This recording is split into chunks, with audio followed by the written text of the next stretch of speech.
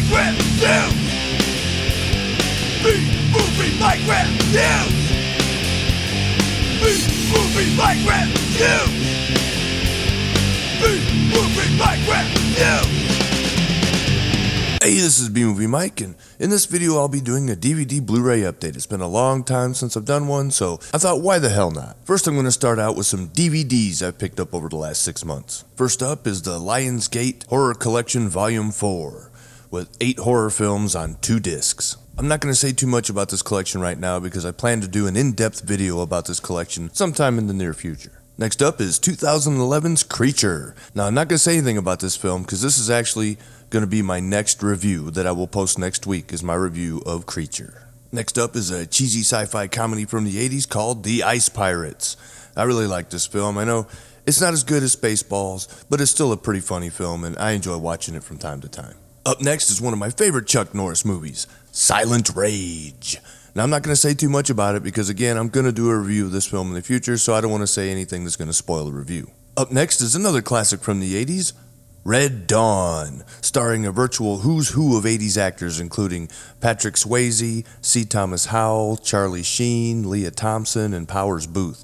This is a really kick ass movie, and I just can't say enough good things about it. What I have here is the collector's edition that features four featurettes, it's a two discer, and it's really cool, and I highly recommend you pick it up. Up next is another sweet collection you can find in the $5 bin at Walmart. It's a five film set of the Prophecy Collection starring Christopher Walken. As you would imagine, it contains all five Prophecy films. Although I have not seen anything past part three, I'm really interested in checking out the collection as a whole because I really liked the first couple of movies. Up next are a couple of sets of films that I've had in my collection before, and I'm pretty sure most everybody else has too.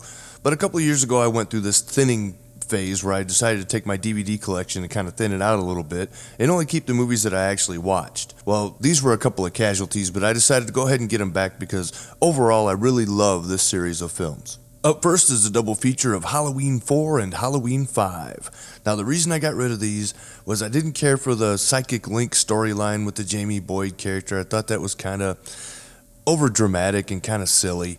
And I really, really hated the mask that they used in part five. I felt like they really didn't even try to get it right. But after seeing these films on TV for the past couple of years, I decided to go ahead and pick them up again because they are pretty decent entries in my overall favorite horror film franchise of all time. And this leads to the final DVD in the DVD portion of this update. That is the three film set, the Halloween Collection, featuring Halloween H2O, Halloween Resurrection, and Halloween 6 The Curse of Michael Myers. Now, I really like Halloween H2O. I thought that was a really great sequel, bringing back Jamie Lee Curtis and the Laurie Strode character. And I also thought it was a great ending where they chopped his head off, and that would have been a, a cool ending to the series. Now, Halloween Resurrection, on the other hand, is my least favorite Halloween film of all time. Now, I didn't mind the reality show concept of the film, but whoever's idea it was to bring in Busta Rhymes to this project and have him do his goofy kung fu fighting shit with Michael Myers should be flogged to death with a walrus penis. Now, Halloween 6 The Curse of Michael Myers is definitely not a great film, but it does wrap up the Thorn trilogy of 4, 5, and 6, and to me it's probably most notable for being the final Halloween film to feature an appearance by Donald Pleasence as Dr. Sam Loomis. He was a legendary actor, and his presence in this film series definitely added credibility to the series as a whole. Well, that does it for the DVD portion of this update. Now on to the Blu-rays. First up, we have 1990s Martin Scorsese classic, Goodfellas. Goodfellas is probably one of my favorite mob slash gangster movies of all time. I picked up this Blu ray at Walmart for like $7.88, and it's a great purchase. It's got two different commentaries and three different documentaries. It's just chock full of stuff, and it's really, really cool. I highly recommend you pick it up if you haven't already. Next up is the action extravaganza from 2010, and that would be The Expendables Extended Director's Cut. In my opinion, it's a great film, and for 15 bucks, this Blu-ray is a great deal. It's got three featurettes and an introduction to the film by Sylvester Stallone, so if you like it and you don't own it, this Blu-ray version of the film is definitely a must-buy. Up next is a film that came out last summer, and I skipped its theatrical run. I hadn't really heard too many good things about it, but when I saw the Blu-ray for 750, I thought, what the hell, I'll give it a shot. The movie I'm talking about is Green Lantern. This Blu ray contains the extended cut of the film and it's chock full of special features, including picture in picture commentary and eight different featurettes. Now, I watched this film recently and I really liked it. Now, if you enjoy Ryan Reynolds and his acting style and his smart ass, quirky little way of doing things, then you'll probably like it too. And I think the extended cut of the film really had some emotional depth to the overall story. So if you're a Ryan Reynolds fan or just a fan of comic book movies in general, I can recommend you check out The Green Lantern on Blu-ray and for 750 it's a really good deal. Next up is the Jurassic Park Ultimate Trilogy. This set features excellent transfers of all three films and has a bunch of bonus features, including a never before seen six part documentary, behind the scenes, including a tour of uh, Stan Winston's studio, and archival featurettes that include the making of all three Jurassic Park films. If you're a Jurassic Park fan like myself, you're really going to love this set. It's awesome. And I highly recommend that everybody pick this up. Next up is the original Star Wars trilogy on Blu ray. This is something I got for Christmas and I really love it. Now, I understand there's some people out there that have a problem with this set because of all the additional changes that George Lucas did, and I understand that, and I'm with you. I too wish he would just quit dicking with these movies and, and just leave them alone. They're classics, and they should be seen the way they were originally made. But these transfers are awesome, and I do recommend that you check it out. Now, with the three disc set, there's not a lot of special features. You have to get the six disc set to get all the features, and eventually I'll get the other ones, although I don't really like the prequels as much. You know, everybody can understand that. They're, some of them are kind of crappy. But overall, these three films are awesome, and it's definitely something that I recommend that all Star Wars fans check out.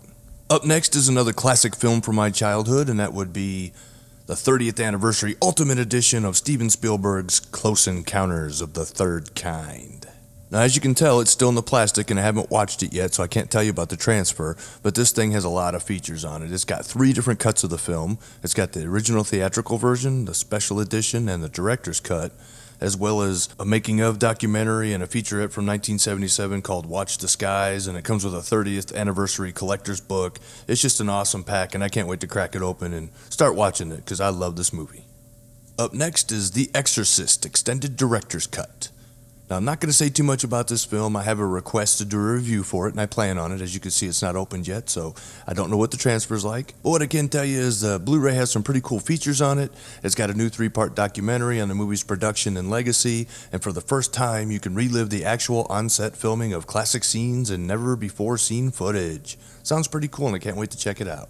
Up next is another series of films that I've had a request to do reviews of, and that would be the Scream 5 film set, which includes Scream, Scream 2, Scream 3, a documentary called Still Screaming, and another documentary called Scream The Inside Story.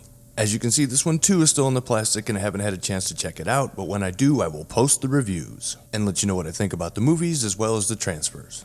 And I also picked up Scream 4 to round out my collection of the Scream films, and I'll be doing a review of this and posting it with the other reviews that I do of the original trilogy. The special features on this Blu ray include uh, feature commentary, alternate opening, uh, deleted and extended scenes, extended ending, gag reel, and a featurette called The Making of Scream 4.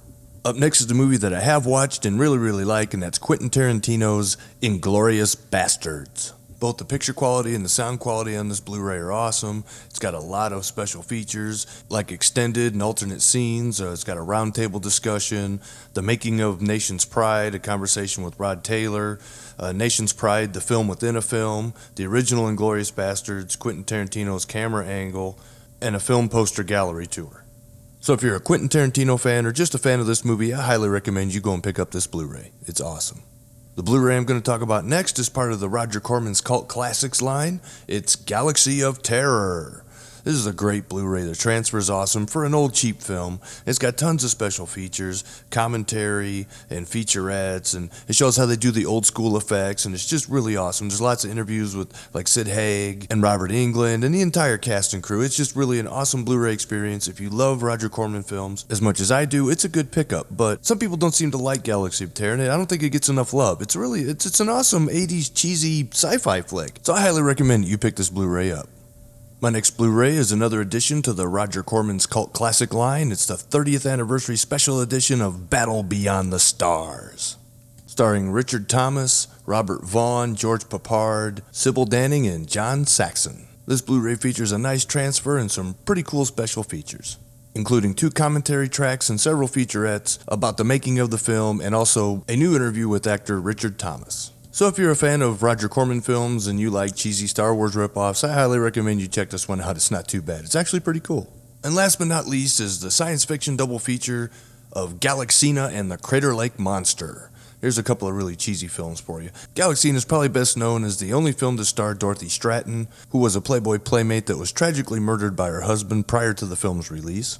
The film itself is a cheesy sci fi sex comedy. Uh, the transfer on the Blu ray is pretty good, but there's no special features on it whatsoever, but it's definitely worth a watch because it is actually pretty funny. The second feature on the disc is the Crater Lake Monster from 1977. And I would say the Loch Ness Monster and other legends like that are definitely behind the story of the Crater Lake Monster. The transfer of the film's decent for what it is and what its source is. And just like Galaxina, there are no special features, it's a bare bone disc, but it's definitely worth checking out.